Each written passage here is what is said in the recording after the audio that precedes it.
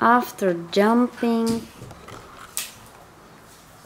long uh, all around after playing and having fun babies are tired. The mom look mom is very very lovely. She's giving milk to her babies.